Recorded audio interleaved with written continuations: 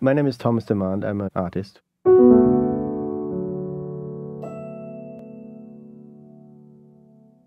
I make life size sculptures of spaces and rooms entirely made out of cardboard, which I photograph.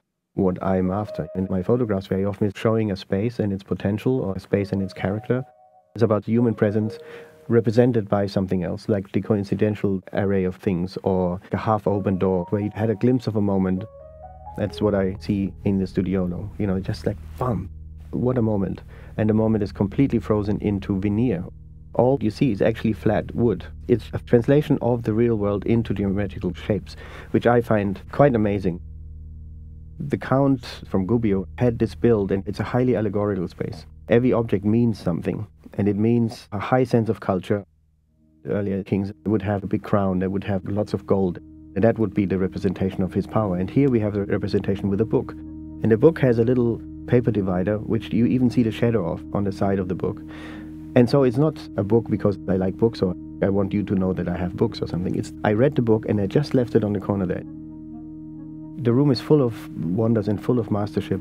One of my favorite parts is a mazzocchio on the bench. It's this little ring with all the angles. It's enormously difficult to do this right as a sign of total mastership of the media. And it just sits on the side.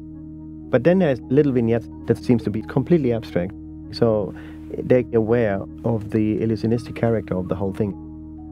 It goes beyond the point of just being the fact that I can trick your eye. It represents a state of mind and a way of thinking about humanistic ideals.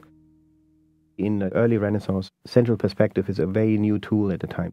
And the trick here is that the whole perspective is complete when you step into the room. Only then. But then you go to the window and you see how distorted the bench on the side is. You have one viewpoint and it's actually very unhuman not inhuman but unhuman because our head is all moving all the time. So our reception of the world is actually one of a moving eye. Central perspective totally works but it's too clean.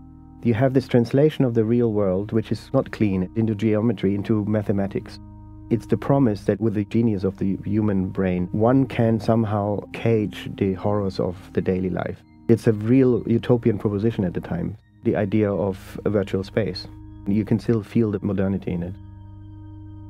Art, if it's good, it can bridge centuries. When I see it, I see it now, and I don't see it 500 years ago. So my brain works on it now. It lets me have my own observations. It lets me have my own ideas about it, and that's what I love about art. And then if I have it displayed in a 360 degree panoramic way like this, it makes me just plain happy.